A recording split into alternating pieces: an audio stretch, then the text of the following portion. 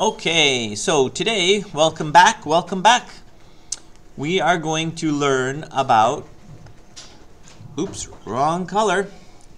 Uh, let's try and change that color.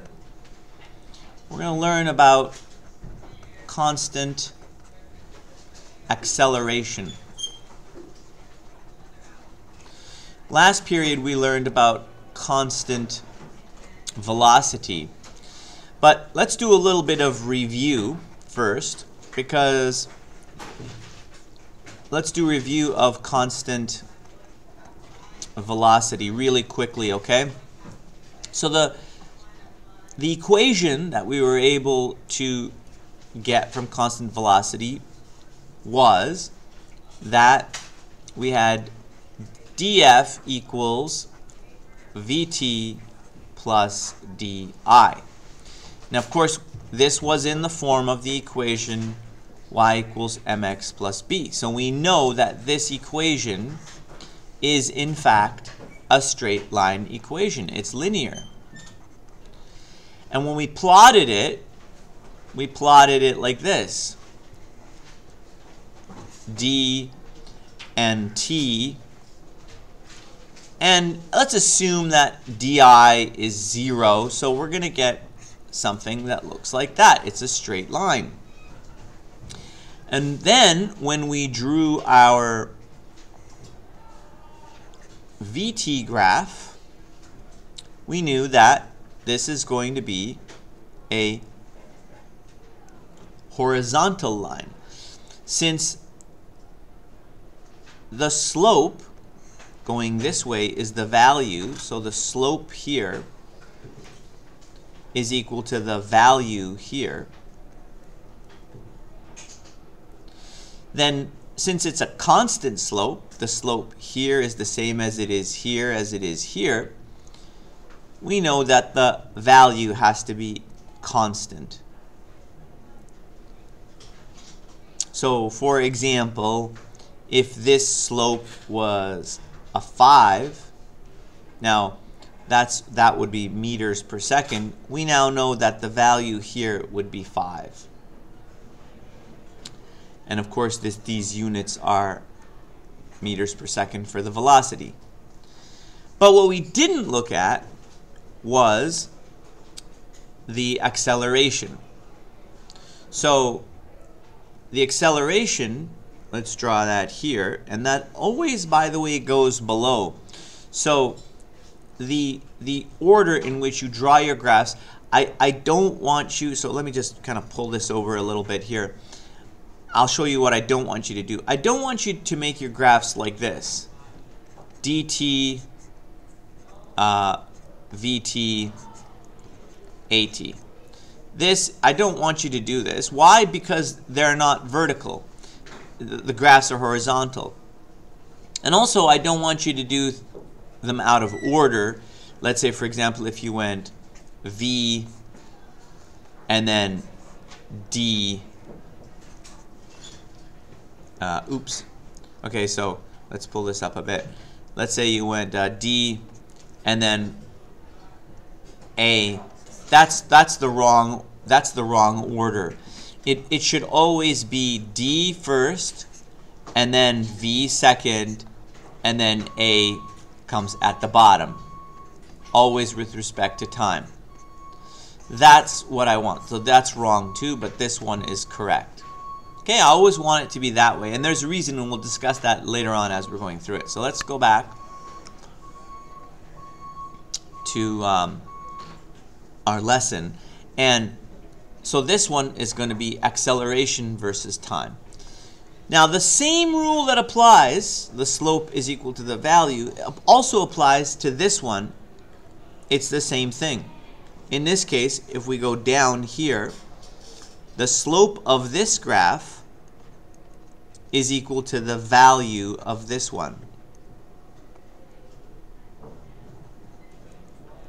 So, you can see that this horizontal line has a slope of 0. Therefore, the value here, and I can, let me change colors real quick. I could, let's say, pick red here. And I know that this graph, therefore, is going to be along the horizontal axis. And I made it thick there in red, you can see. So, in essence, the slope here is 0.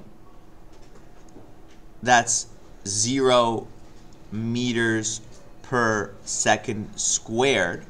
That's the slope because if, let me shift back to black here. If the units are meters per second per second, we get meters per second squared for the slope. And therefore, this is, this unit, of course, is meters per second squared. But zero slope, zero value. They're equal. Okay? So now that we've analyzed, and once again, I'm saying that this is review. The only part that we did not look at in the last lesson was the acceleration part. So th this part is now kind of a new part, but the D and the V should be review from before. Again, this is constant velocity. But today, we're going to be learning about constant acceleration. So how is this different? Well, let's kind of move over here a little bit and let's take a look at the definition of acceleration. Acceleration is the rate of change in velocity. Rate of change in velocity. That means the equation would be acceleration is equal to delta v over delta t. That equation right there is the rate of change that's change in velocity, and the rate of is per unit time. We can now rearrange this equation solving for delta v and say it's equal to at. And then we can change delta v into v final minus v initial equals at. And now we can write down the equation v equals at plus vi. Now guess what? we have a linear equation. Just like we had before. Except, notice that the two linear equations, the one for constant velocity, was a little different. It was here. It was this one. Notice this one, the slope is v here, right? In y equals mx plus b form. And in this one, if I write y equals mx plus b just so that you can recognize where the slope is, then you should recognize that the slope is the a. Also recognize that this is a v versus t graph, whereas for constant velocity, it was a d versus t graph. That means the linear line in constant velocity was this graph, the first one. Whereas for constant acceleration, now we see that the linear line is the VT graph. So let's draw the graphs again. We've got the DT graph here. And remember, we always draw them in this order. Here's my VT graph. Pull it up a bit here. And now it's, from this equation here, it's this one that is the straight line. And again, I'm going to assume that VI in this case is 0 since it's going through the origin. Now, if we use the same rules as we did before to draw the remaining graph.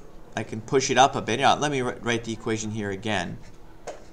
V final equals AT plus VI. Now if I draw the AT graph, I can use this same rule where I can say, hey, the slope of this one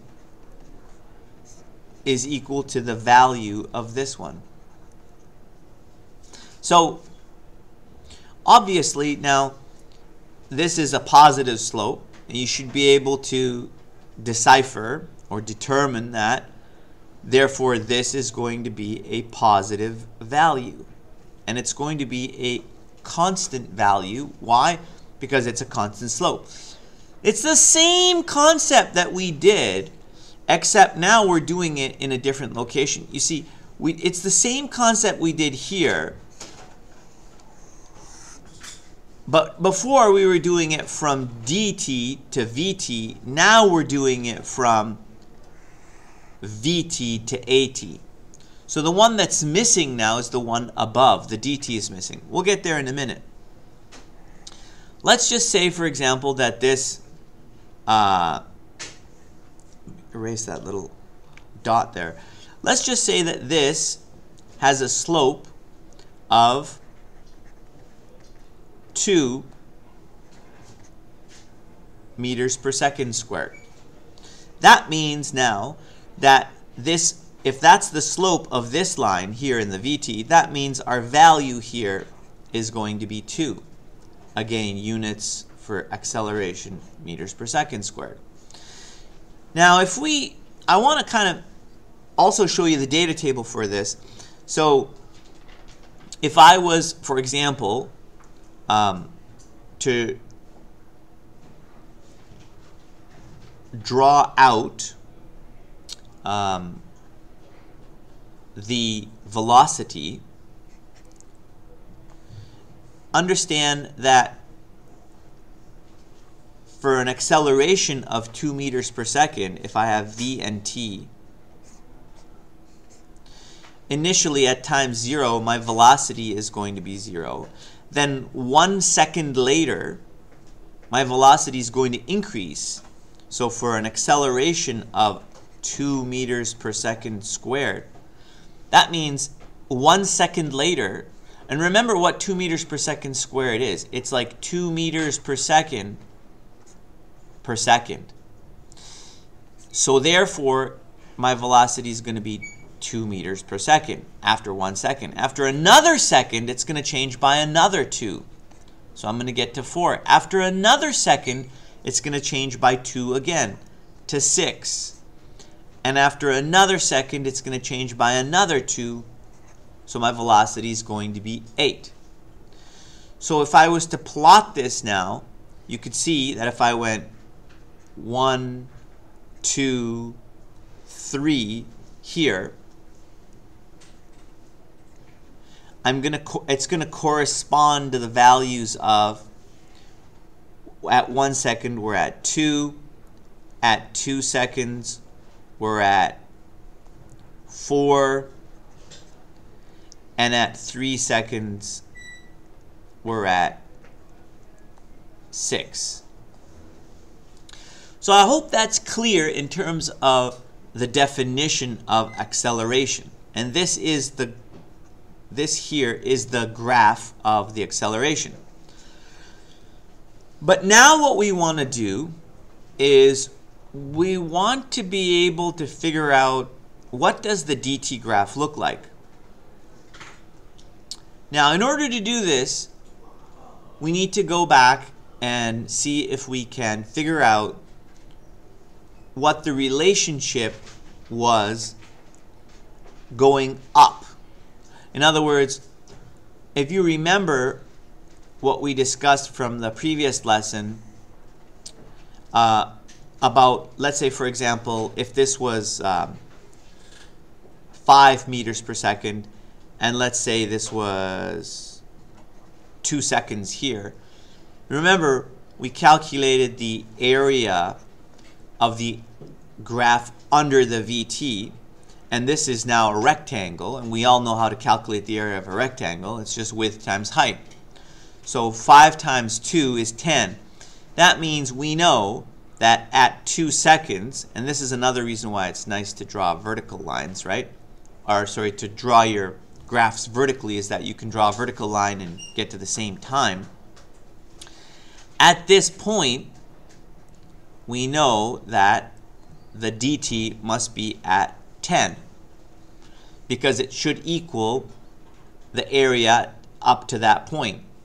And remember, areas above the origin are positive, areas below the origin are negative. So we learned this before, but, and remember, if I draw an arrow for this, going in this direction, area here is equal to uh, position here. Okay? So, or you could say area equals the value instead of position. It makes sense to say position for for dt because that's what it is. That is the value. Okay? We could say value here. Position is specific to the dt. So now, if we come back over here, and I can change my uh, color. Let me change my color here. Uh,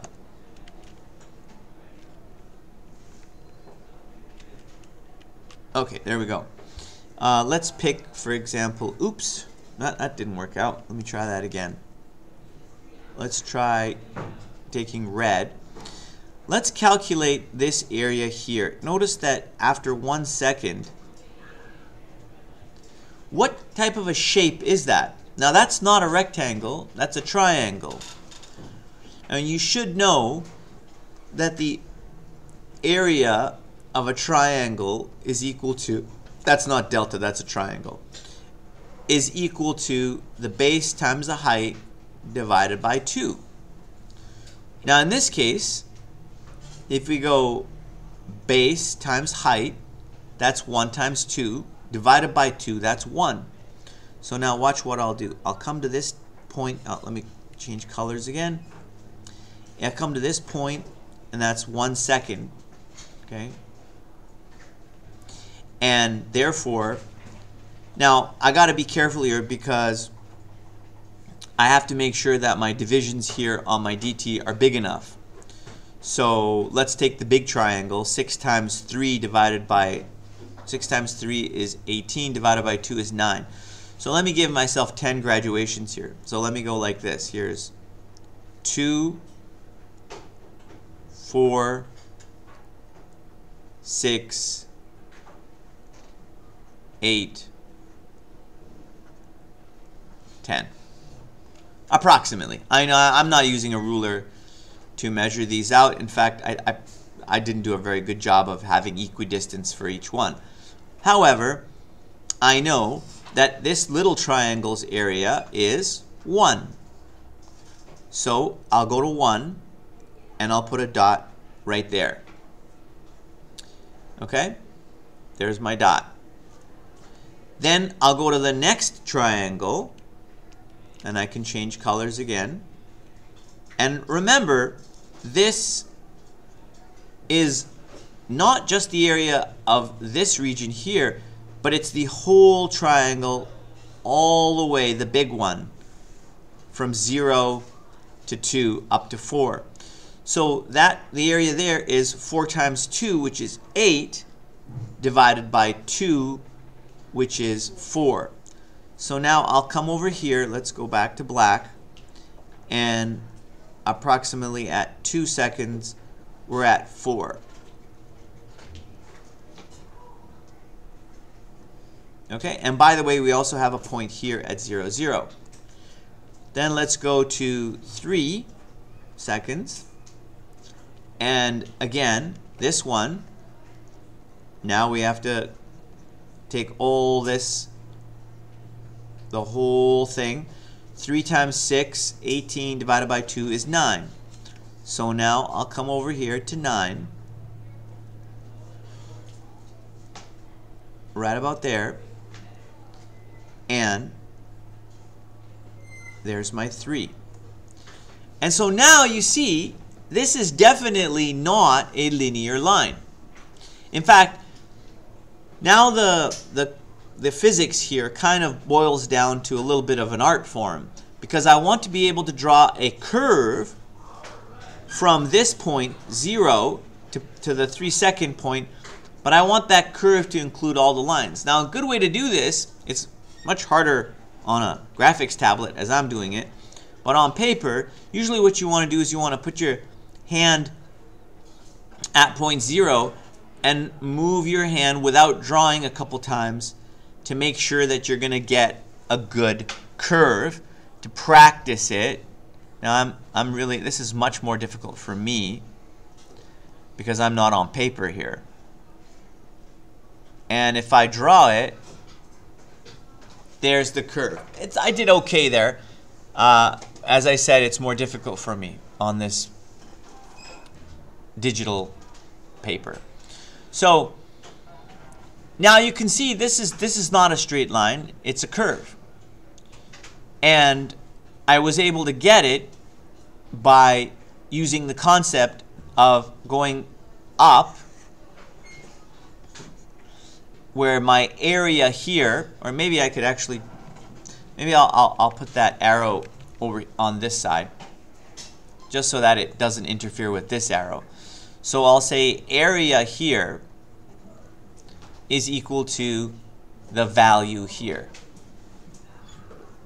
Right? Equals. So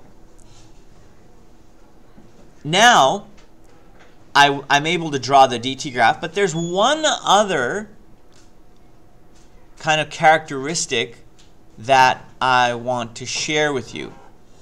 And that is,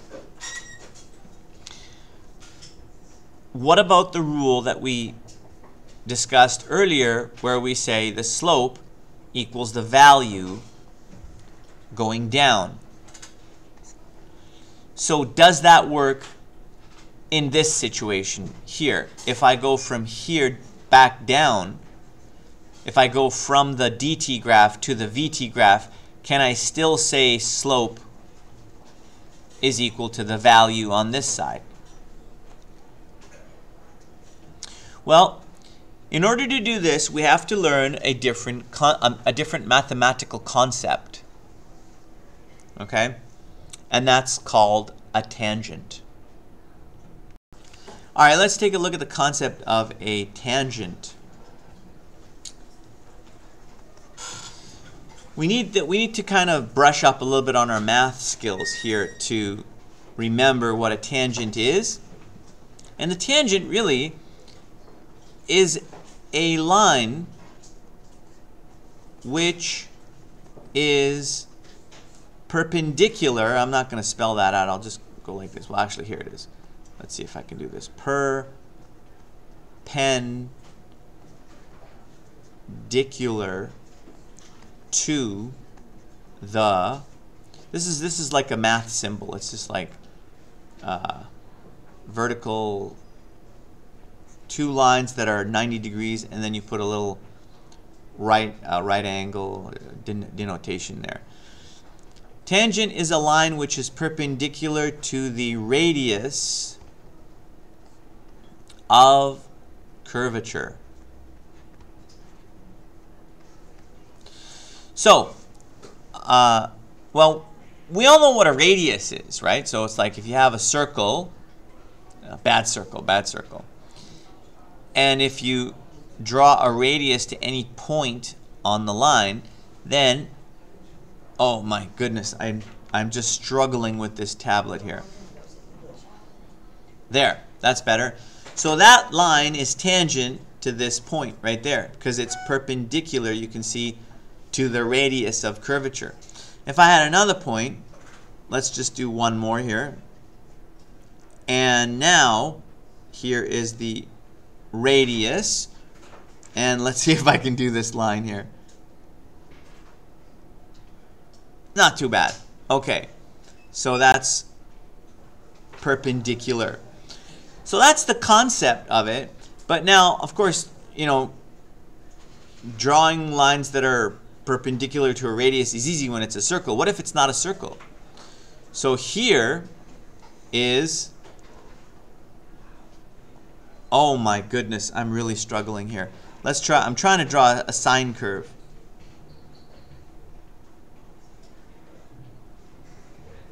Oh, this is harder than I thought. Uh, let me try that one more time.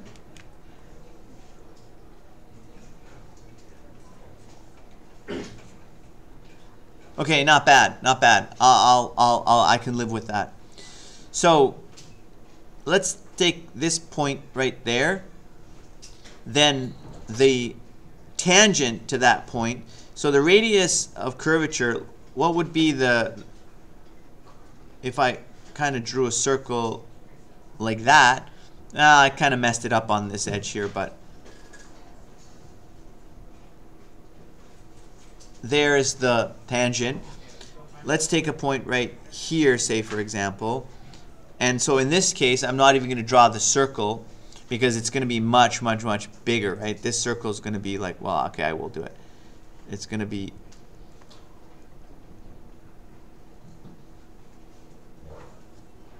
something like that, or bigger maybe.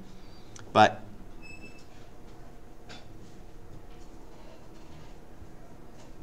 there, there's the line. That's not bad. Okay, so the concept here is a tangent line just touches the line. It doesn't cut through the line, and it um, it's perpendicular to the radius of curvature at that point in the line. Okay, so now that we understand the concept of a tangent, let's go back. And what we're going to try and do is we're going to try and find the tangent at this point at one second. So if I draw this line, uh, maybe I should use a different color here. Let's pick, uh, let's pick a, a green maybe. Okay, so, or how about this green? This is like brighter. So in this case, the tangent would be like that.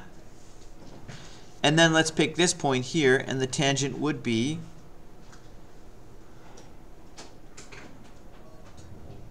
like that. And the tangent up here would be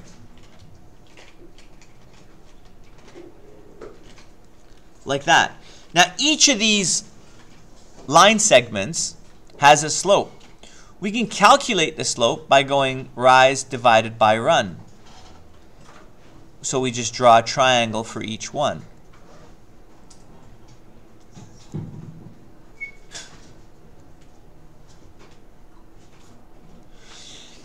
Now if you did that, you should notice, now it's hard for me to do this calculation, but I mean, we can, I can, it's obviously not going to be very accurate because I'm not doing this on graph paper. If we did this on graph paper, it'd be much more accurate.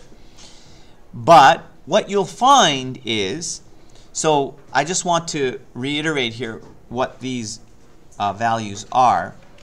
Let's just use, let's say, uh, let's use this nice blue here. This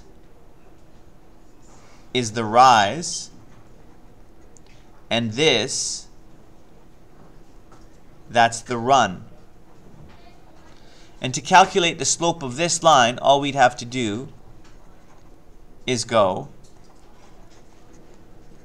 rise divided by run. And at that point, therefore, that would give us the slope at that point right there. And if you do that, you should get a value of approximately, now just you can pause the video here for a second and think about what this answer should be. At three seconds, what should the slope of this point be? Remember, the rule is going down, the slope is equal to the value. So therefore, at that point, we're going to be right there. And so the slope should be 6. Okay? And therefore, if we take the same concept and say, okay, what about this point here at 2 seconds? If you do rise divided by run, and you, you should get approximately 4. Same thing for this one. Notice these slopes are steeper as we go to the right. For one second, the slope should be 2. Okay? And in fact, um, it's pretty close to it. I mean, obviously, this isn't graph paper, but I've done the best I could with uh, with the graphics tablet. Right. One thing I may have kind of glossed over is to calculate the slope.